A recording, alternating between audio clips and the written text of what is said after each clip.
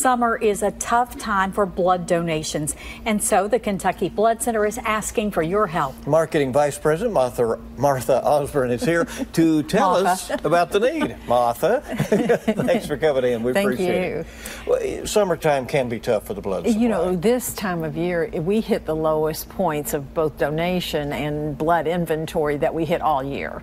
So, yes, it's a very difficult time. Yeah. And so people just busy, vacations, what is it? Is it, just everything I- I, I think it is, and, and uh, they just don't think about donating. We also aren't having our high school and college blood drives yet, and that really helps in the fall when we start having those. So, yeah, it's all of those things Yeah. together. And you're not yet uh, at an emergency or very critical situation, but tell us uh, Well, where you are. We're not, but we, we certainly need help, and we get we are getting help from other blood centers. So there's more blood, or more blood being transfused in Kentucky than is being donated right now. We particularly need O negative donors. That's the type that's used in emergencies and in the shootings and that sort of thing. That's what's used, and there's no place to really get help for the O negative so right we're, now. we're being called upon uh, to send in some we cases. have we have not yet, um, mostly because we're struggling to have enough for Kentucky. So it's very important for O negative folks to come out and donate. well, you have some incentives. Oh, we for have some great things What are you to doing? end the summer. Right now at our donor centers, we have these great um, world's greatest blood donor mugs uh, for our donors, but we will be at the state fair starting next week every day.